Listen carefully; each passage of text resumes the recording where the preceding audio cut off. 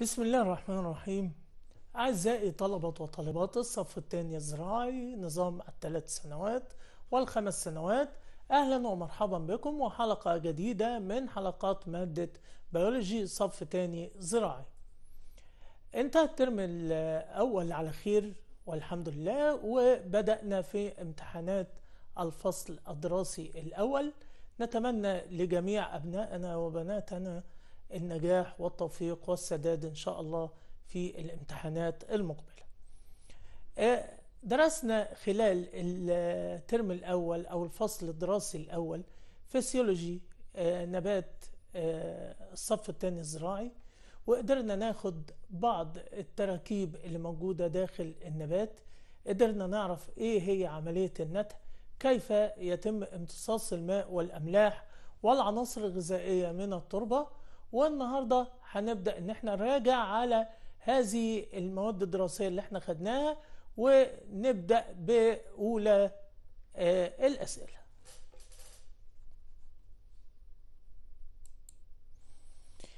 السؤال الأول هيكون ضع علامة صح أمام العبارة الصحيحة وعلامة خطأ أمام العبارة الخاطئة. ظاهرة الأسموزية هي عملية ادمصاص الماء على أسطح المواد الجافة ويقصد هنا بادمصاص الماء معناه تشرب الماء أو تشرب الخلايا للماء فهل الكلام ده صحيح؟ هل عملية الأسموزية اللي بتعتمد على تركيز المحلول هي عملية تشرب للماء ولا الكلام ده خاطئ؟ طبعا الكلام ده خاطئ مئة في المئة لأن ظاهرة الأسموزية هي امتصاص وليس ادمصاص الماء. امتصاص الماء من الخلايا أو المسافات البينية للتربة اللي موجودة في التربة نتيجة الاختلاف في تركيز المحلولين.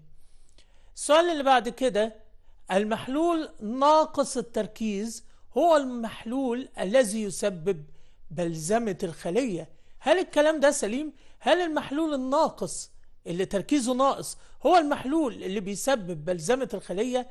يعني إيه بلزمة الخلية؟ يعني امتصاص الماء من الخلية هل لو وضعت خلية نباتية في محلول ناقص التركيز هيقدر إن هو يمتص الماء منها ولا هي اللي هتتشرب الماء منه فهنا السؤال بيقول المحلول ناقص التركيز هو المحلول الذي يسبب بلزمة الخلية الكلام ده طبعا بالتأكيد خطأ السؤال الثالث النتح هو فقد النبات للماء على صورة سائلة كما في الإدماع هل الكلام ده سليم؟ هل النتح عبارة عن فقد النبات للماء على صورة سائلة ولا على صورة بخار ماء؟ طيب وهل الإدماع هو كظاهرة هو زي عملية النتح؟ طبعا الكلام ده كلام خاطئ مئة في المئة ليه يا ترى؟ لأن النتح هو عملية فقد النبات للماء على هيئة بخار ماء النتح هو عملية فقد الماء على هيئة بخار ماء من الأسطح المعرضة للجو سواء كانت الورقة سواء كانت الساق من العديسات اللي موجودة على الساق أو سواء حتى كان من بعض الأجزاء الأخرى في النبات المعرضة للجو واللي بتحتوي على صغور باستطاعتها تبخير الماء من النبات إلى الخارج أو إلى الجو الخارجي. بالنسبة لظاهرة الإدماع برضو الإدماع هي عملية فقد الماء ولكنها ظاهرة بتحدث في الربيع فقط في بعض النباتات. إذا ظاهرة الإدماع دي ظاهرة إخراج قطرات من الماء بينما النتح هو إخراج الماء على هيئة بخار ماء. هو هنا قال لك زي ظاهرة الإدماع عشان انت تغلط وتقول له صح الكلام ده صحيح بيفقد الماء على صورة سائلة. ولكن إحنا كلنا عارفين إن النتح عبارة عن فقد الماء على هيئة بخار ماء. وليس على صورة سائلة. بنيجي بعد كده لأسئلة علل وهي من الأسئلة الهامة جدا وللأسف طلابنا بيفقدوا فيها درجات كتيرة نتيجة عدم التركيز. السؤال الأول في علل يشاهد أو يشاهد ذبول النباتات النامية في الأراضي الملحية بالرغم من وجود الماء. تاني يشاهد ذبول النباتات النامية في الأراضي الملحية بالرغم من وجود الماء.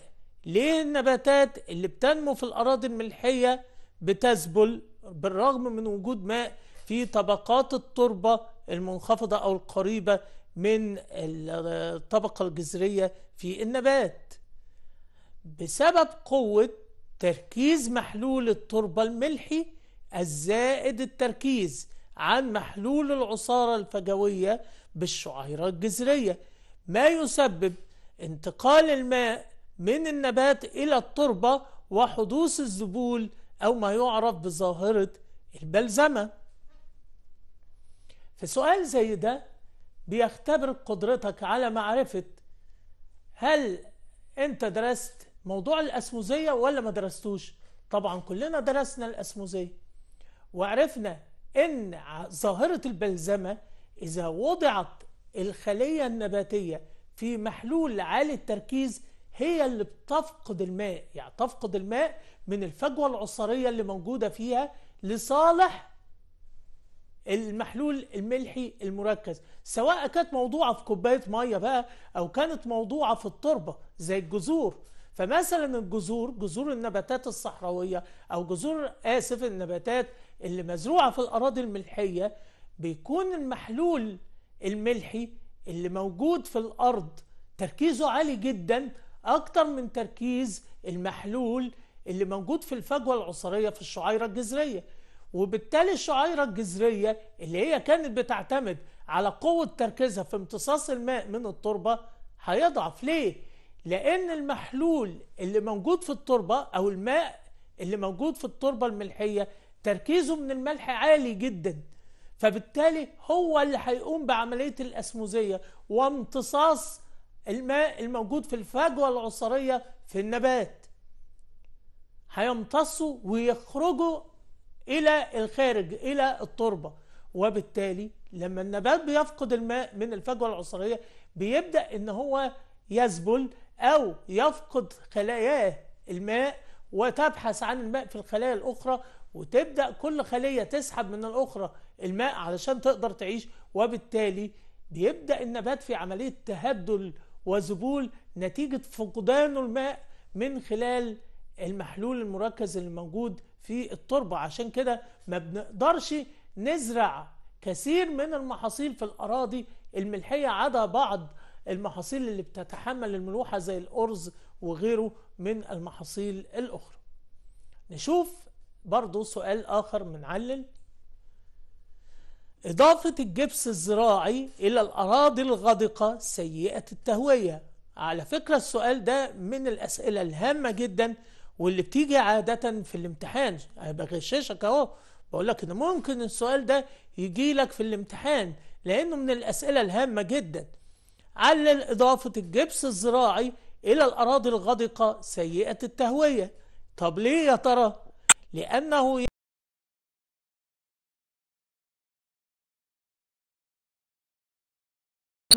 تعمل على زيادة مسامية التربة وتهويتها وتحسين الصرف في هذه التربة. يبقى إضافة الجبس الزراعي بيعمل حاجتين. بيجمع حبيبات الطين الغروي اللي هي بتكون سالبة الشحنة. في حبيبات أكبر بيجمعها في حبيبات أكبر.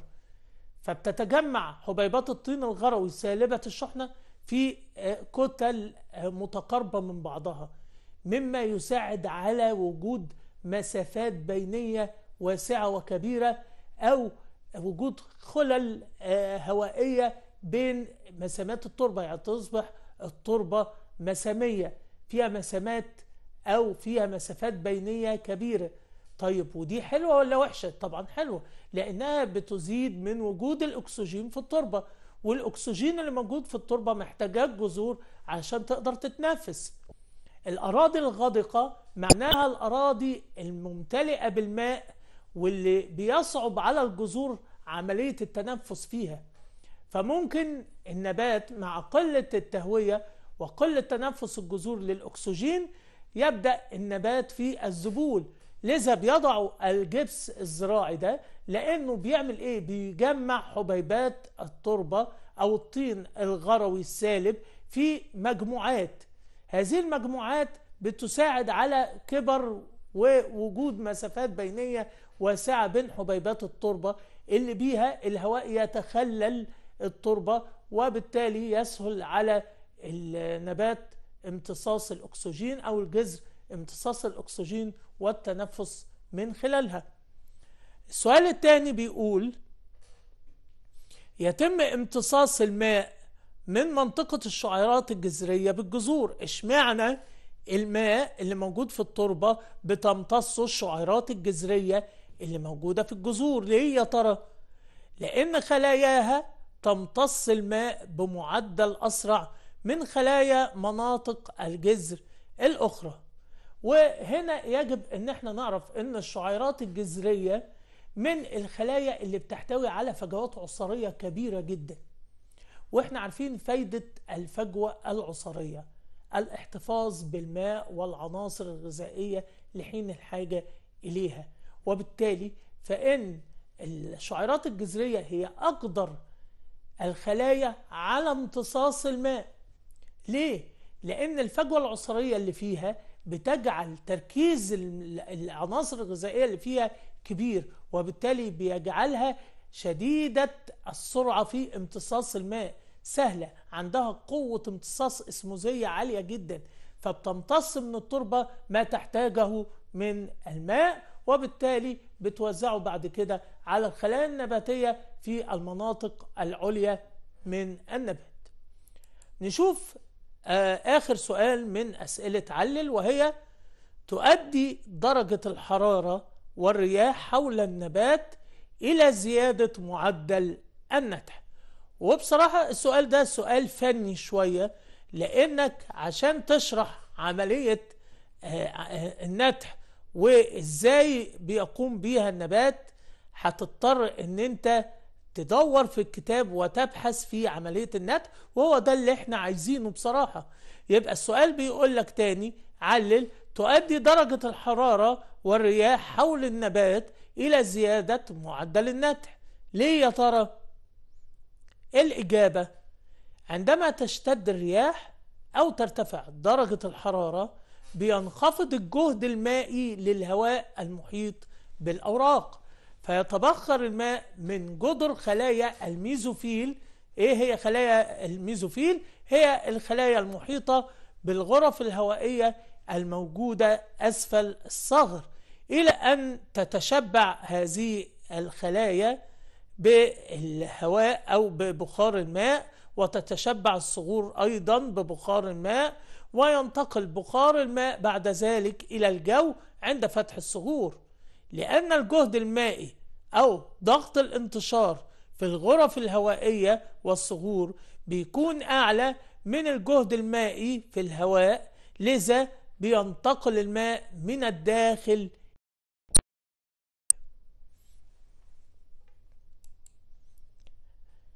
سؤال المقال بعد كده وبيجي لنا ما هي القوة المسؤولة عن دخول الماء إلى الخلية النباتية. هنقول إن القوة المسؤولة عن دخول الماء إلى الخلية هي محصلة قوتين أساسيتين. إيه هما؟ واحد الضغط الإسموزي واثنين الضغط الجداري. القوة المسؤولة عن دخول الماء إلى الخلية النباتية ليست قوة واحدة ولكن هما اثنين الضغط الإسموزي والضغط الجداري. الضغط الأسموزي لمحلول عصير الفجوة العصارية اللي موجودة في الجذور والضغط الجداري اللي بيعمل على إيقاف تدفق الماء إلى داخل الخلية عند وصولها إلى حالة الامتلاء أي عند حدوث الاتزان بين محلول الفجوة العصارية ومحلول التربة. القوتين دول معا بتسمى بقوة الامتصاص الأسموزية.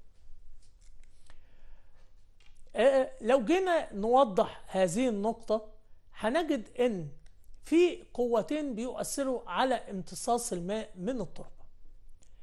لو النبات فضل يمتص الماء من التربة عن طريق الضغط الإسموزي يعني فضلت الفجوة العصارية تمتص الماء اللي موجود في التربة من آه، ماء وعناصر غذائية هتفضل الفجوة العصارية تكبر وتنتفخ وتنتفخ معها الخلية وبالتالي ممكن إن هي تنفجر من كتر المية اللي موجودة فيها.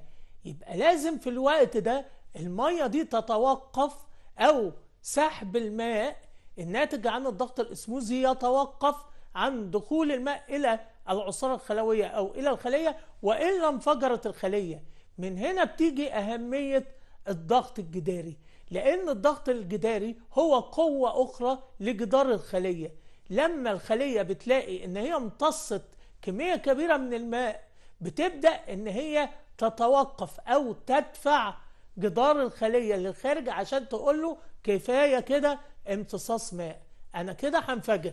فبتبدأ إن هي تقفل أو تبدأ إن هي الضغط الجداري يزيد وبالتالي يمنع دخول الماء والعناصر الغذائية إلى الخلية.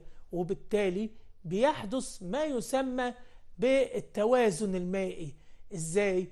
إحنا عارفين إن العصارة الخلوية اللي موجودة في الشعيرة الجذرية بتكون عصارة مركزة والماء اللي موجود في التربة بيكون غير مركز أو تركيزه قليل جدا. ولكن مع استمرار دخول الماء إلى الفجوة العصارية بيبدأ تركيز محلول الفجوة العصارية يقل. يعني تركيزه من الأملاح يقل.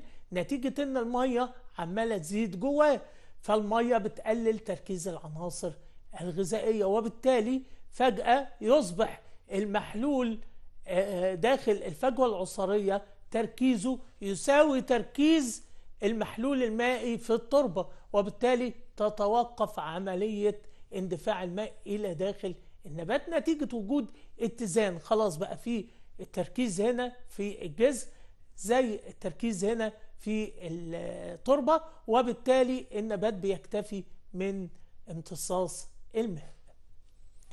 نشوف السؤال اللي بعد كده وهو ما هي القوة المسببة لميكانيكية امتصاص النبات للماء؟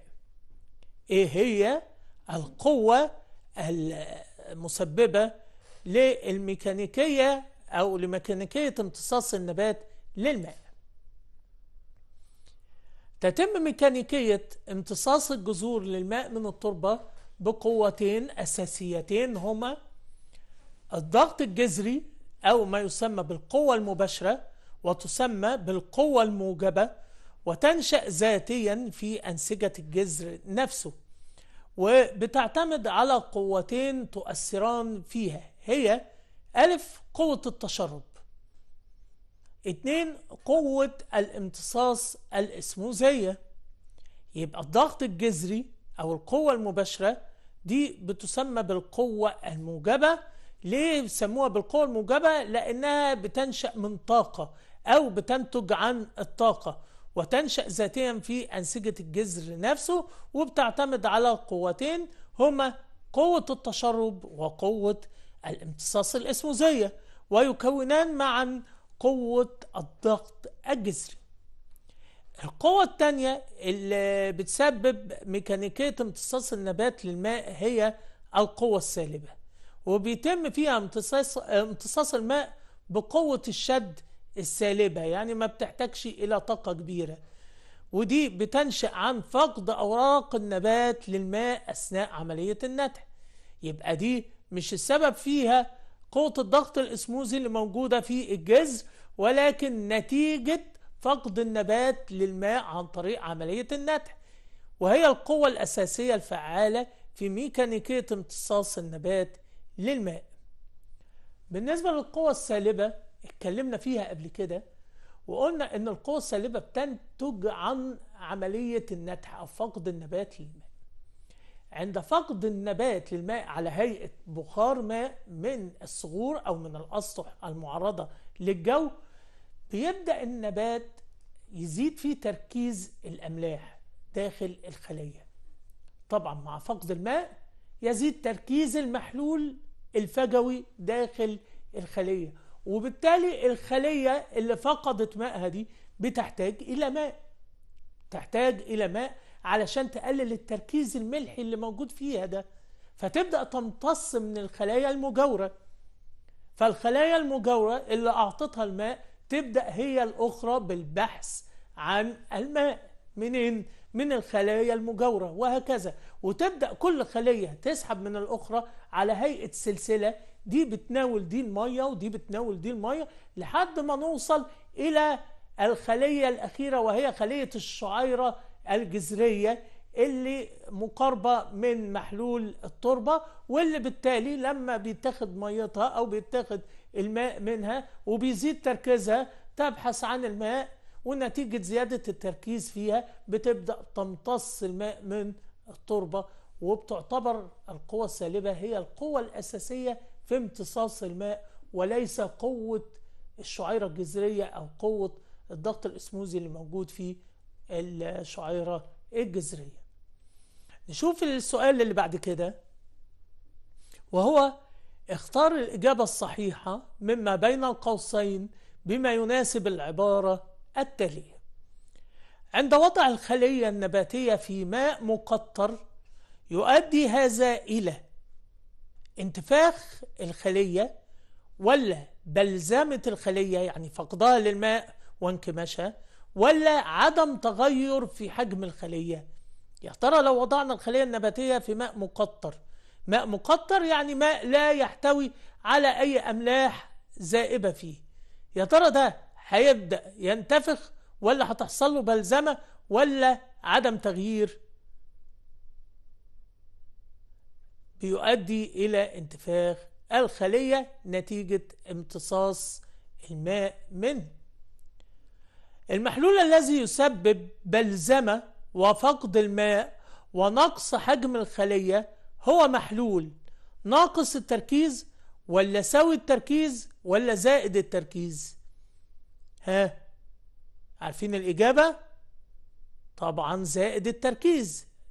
المحلول زائد التركيز هو اللي بيسبب بلزمة للخلية ونقصان في حجمها.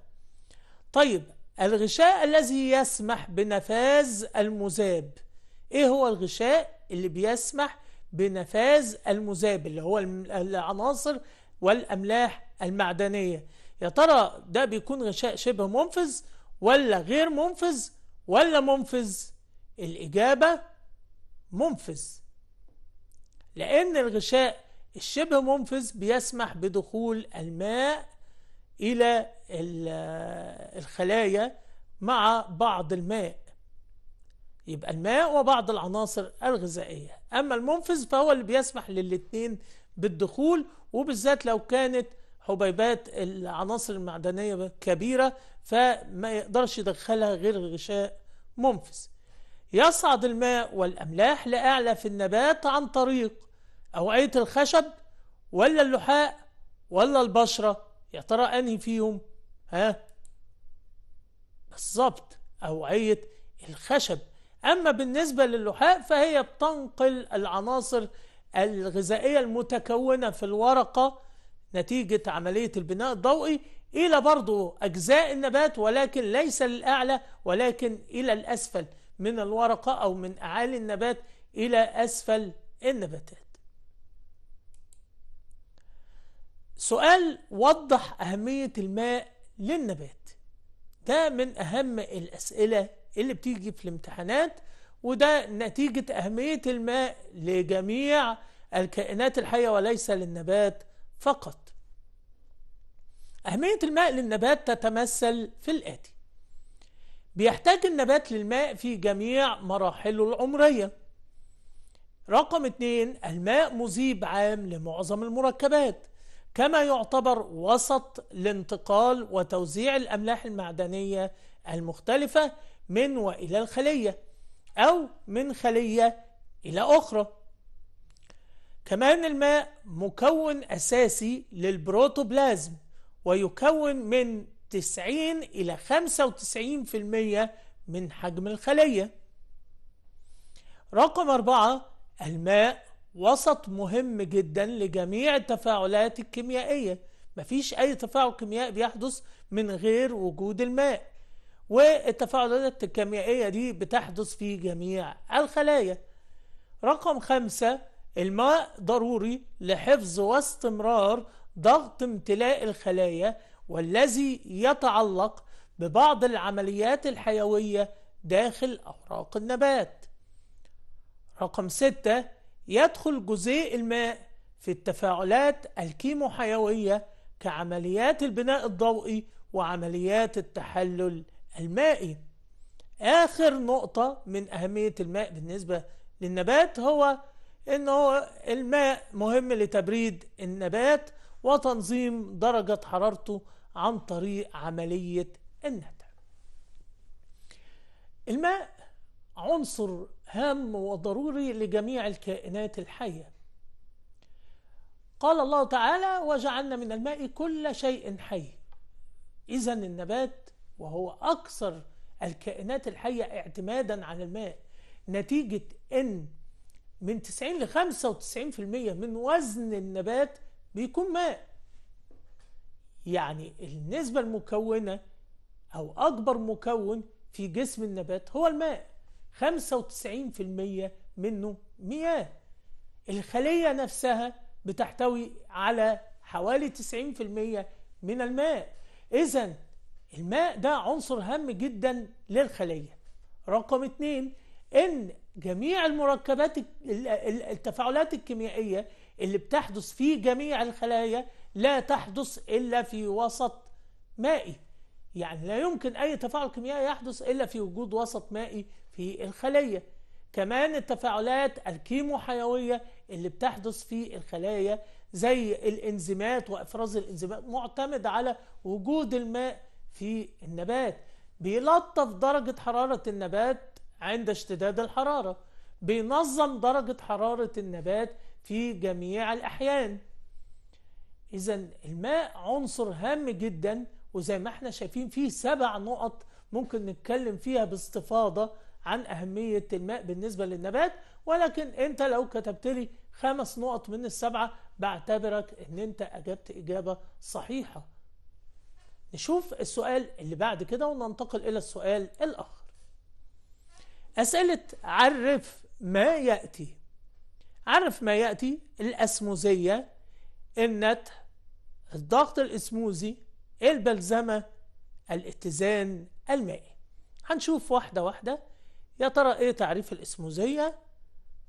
أيوه الإسموزية هي عملية يتم فيها انتشار الماء أو المذيب خلال غشاء شبه منفذ من المحلول الأقل تركيز اللي هو المخفف إلى المحلول الأعلى تركيز اللي هو المحلول المركز. التعريف الثاني وهو النتح زي ما إحنا قايلينه من شوية هو فقد النبات للماء على هيئة إيه؟ على هيئة بخار ماء منين؟ من الأسطح المعرضة للجو وبخاصة الأوراق. الضغط الإسموزي تعريفه هو الضغط اللازم إيقاعه على المحلول لمنع مرور الماء النقي إلى المحلول من خلال الغشاء شبه المنفذ وبالتالي إيقاف زيادة حجم المحلول. التعريف الأخير وهو الاتزان المائي هو العلاقة بين كمية الماء الممتص طبعا من التربة والماء المفقود من الخلية عن طريق عملية النتع سؤال وضح أهمية كل من الانتشار الإسموزية النتح في حياة النبات.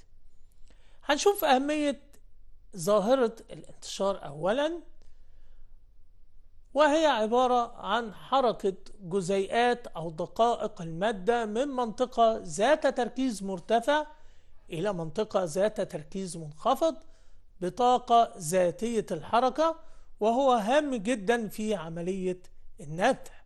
حيث يتم تبخر الماء من الخلايا المحيطة بصغور الأوراق إلى الجو الخارجي عن طريق عملية الانتشار. ده ما يمكن أن تكتبه عن الانتشار. طيب الأسموزية. إيه أهمية الأسموزية في حياة النبات؟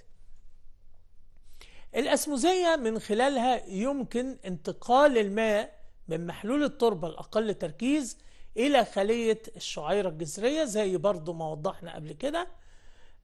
من المحلول ذو التركيز الأعلى ثم ينتقل الماء منها إلى الأوعية الخشبية فالنبات كله.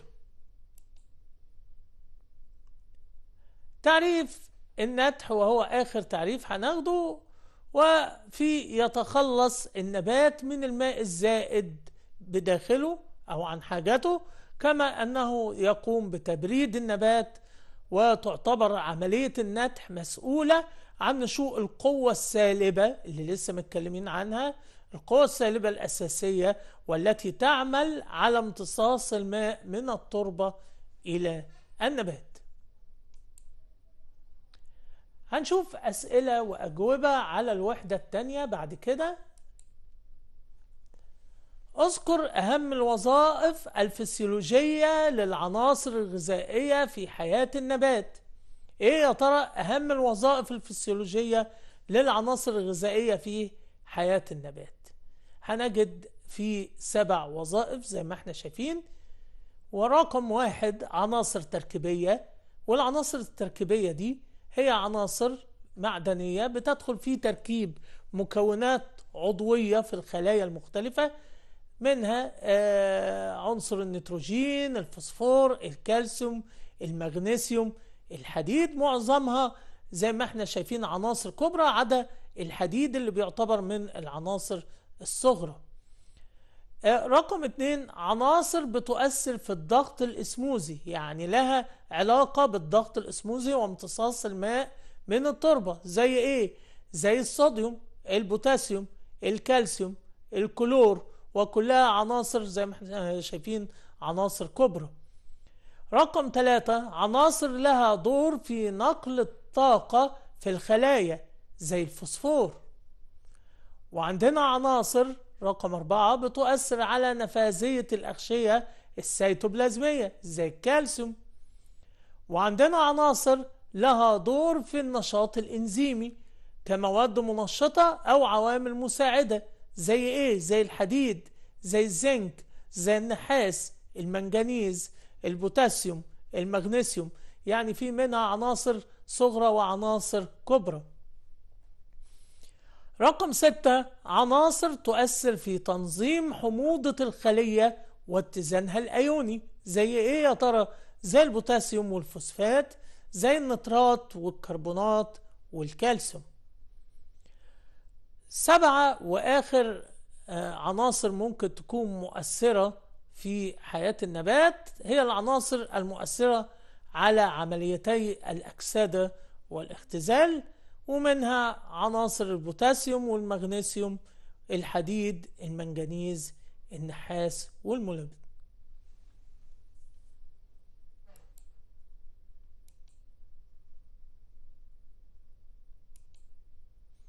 وضح ميكانيكية امتصاص العناصر الغذائية بواسطة الجذور. هنا سؤال بيقول لي وضح ميكانيكية امتصاص العناصر الغذائية بواسطة الجذور. عايز يعرف إيه هي الميكانيكية اللي بتعتمد عليها الجذور في امتصاص العناصر الغذائية. الإجابة ميكانيكية امتصاص العناصر الغذائية بواسطة الجذور بتتم بطريقتين. هما طبعا إحنا بنقولهم كملخص وهو دي الإجابة اللي إحنا عايزينها في الامتحان. مش عايزين إجابة يعني شافية آه وكبيرة بحيث إن هي تلخبطك. لا إحنا هنعوز الأهم أو العناصر الهامة فقط في ميكانيكية امتصاص العناصر بواسطة الجذور. ومنها الامتصاص السالب الطبيعي وتوجد عدة ظواهر طبيعية بتساعد على حدوث الامتصاص السالب أو الطبيعي زي ظاهرة الانتشار اللي لسه متكلمين عنها التبادل الأيوني وتدفق العناصر مع تيار الماء. العنصر الثاني من ميكانيكية امتصاص العناصر الغذائية بواسطة الجذور هو الامتصاص النشط أو الحيوي وده بيفسر الامتصاص النشط عن طريق نظرية الحوامل اللي كانت بتعتمد على إن الجذر بيعتمد على مركبات داخل داخله بتقوم بالخروج من الجذر إلى التربة لحمل العناصر المعدنية من التربة والعودة بها إلى الجذر. تضعها ثم تعود مرة أخرى إلى التربة هذه الحوامل أو المركبات وتعود إلى التربة لحمل المزيد من العناصر اللي بيحتاجها النبات وهكذا هي دي نظرية الحوامل وكنا درسناها قبل كده وخدنا عنها بعض التفسيرات. أسئلة أكمل أكمل العبارات الآتية من أهم الأسئلة اللي بتيجي في الامتحان. أكمل العبارات الآتية بالكلمات المناسبة. أسئلة أكمل ممكن تلم بيها درجات كتير جدا في الامتحان وتساهم في رفع درجة المادة درجتك بالمادة. ليه؟ لأنها سهلة ويعني من سهولتها ممكن إن أنت تلم بيها درجات في الامتحان زي ما قلنا. أكمل العبارات الآتية بالكلمات المناسبة تنقسم أو تقسم العناصر الغذائية الأساسية إلى مجموعتين طبعا كلنا عارفينهم إيه هي؟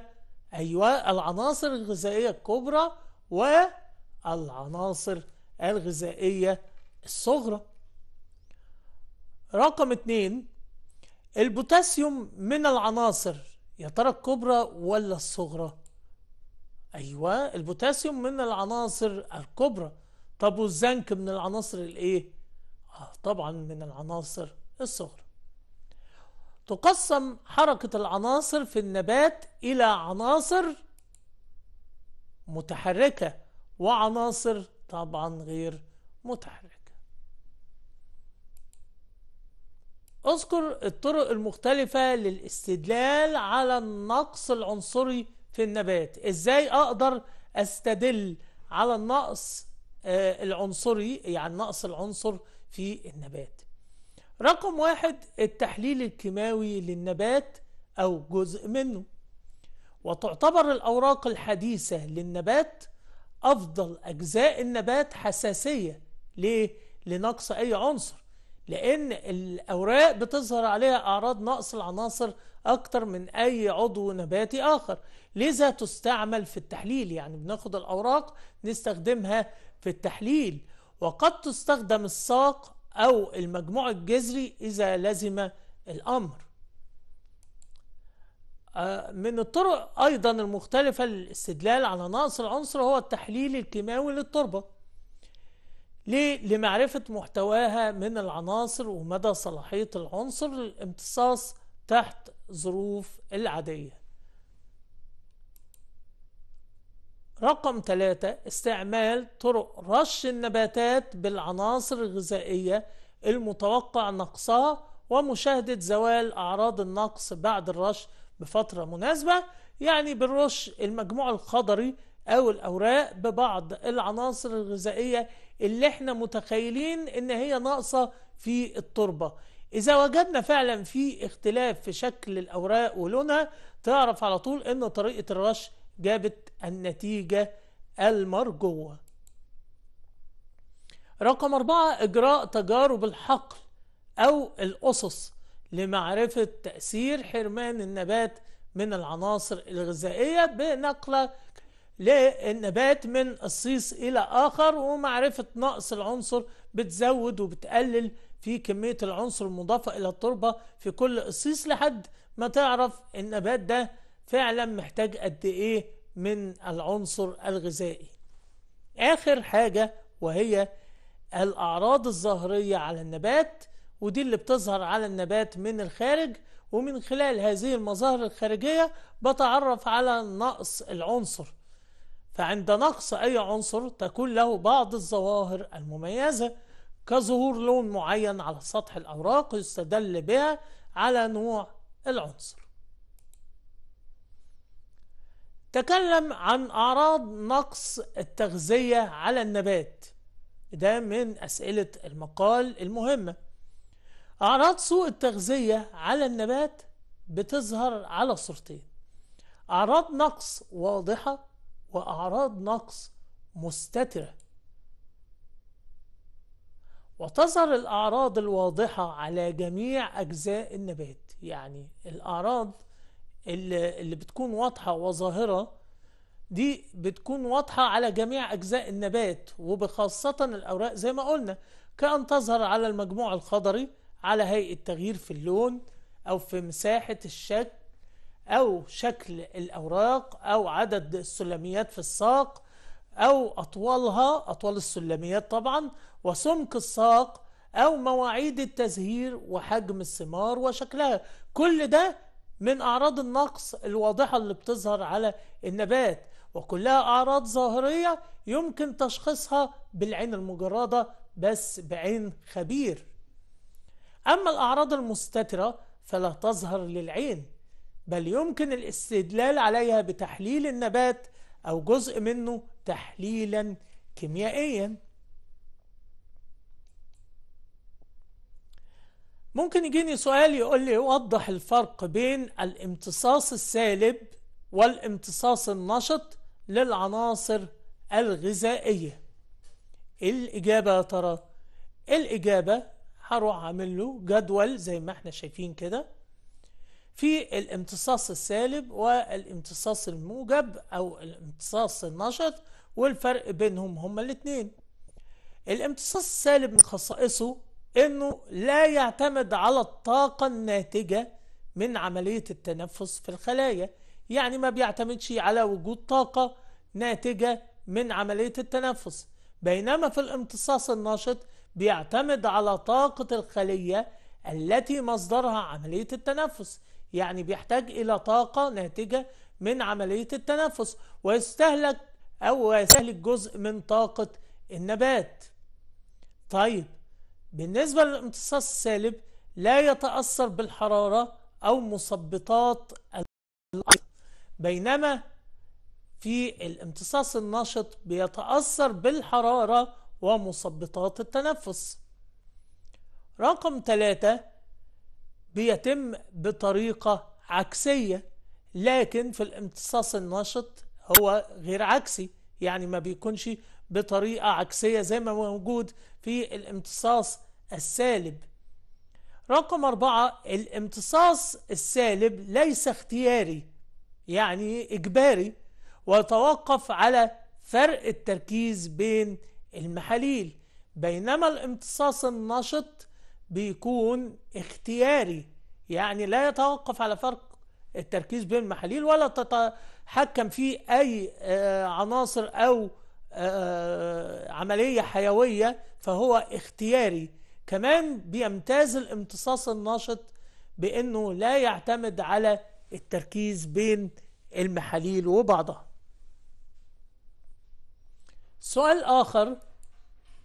وضح علاقة حركة العناصر الغذائية في النبات بظهور أعراض نقص العناصر الغذائية على النبات. إزاي؟ أوضح العلاقة بين حركة العناصر الغذائية وإحنا عارفين إن في عناصر متحركة في النبات مع أعراض النقص اللي موجودة وظاهرة على النبات. إزاي من خلال أعراض النقص أعرف العلاقة بين العناصر الغذائية المتحركة في النبات؟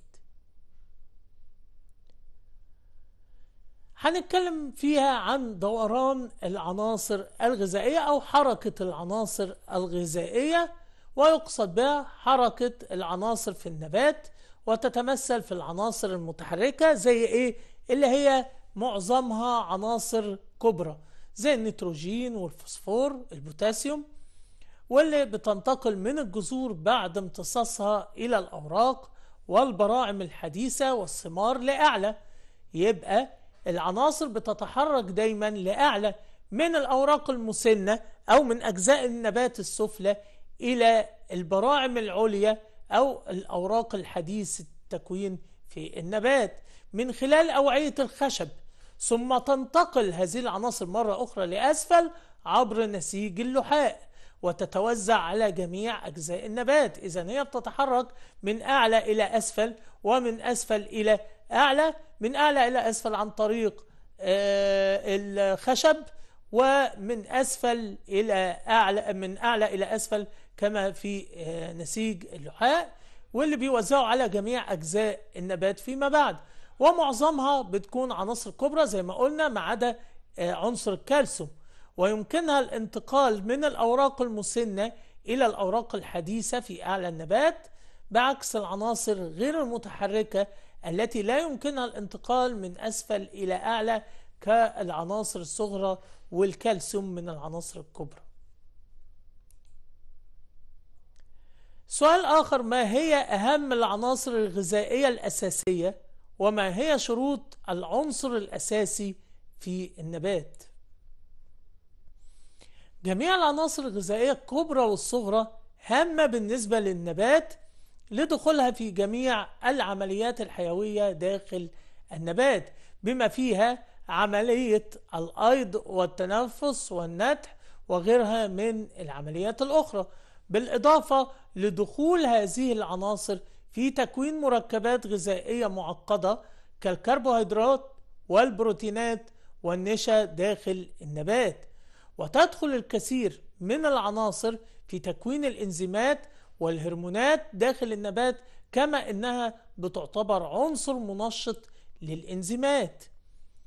ومن أهم شروط العنصر الأساسي الضروري لتغذية النبات رقم واحد لا يمكن للنبات إكمال دورة حياته إذا نقص أو غاب هذا العنصر.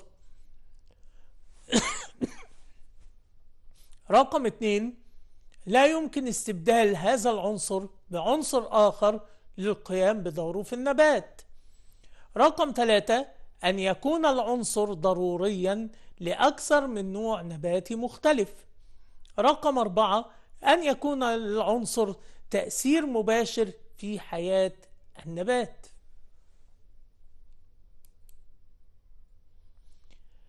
اكتب المصطلح العلمي المناسب لكل من العبارات التالية. هي انتشار الماء عبر غشاء شبه منفذ من المحلول الأقل تركيز إلى المحلول الأعلى تركيز. يا ترى إيه هو اللي بينشر الماء عبر غشاء شبه منفذ من محلول أقل تركيز إلى محلول أعلى تركيز؟ هو الأسموزية. أكمل العبارات التالية بالكلمات المناسبة. القوى المسببة لميكانيكية امتصاص الماء من التربة بواسطة الجذور قوتين. هما إيه يا ترى؟ إيه هما القوتين المسببتين لميكانيكية امتصاص الماء من التربة؟ لسه واخدينهم ومتكلمين عنهم.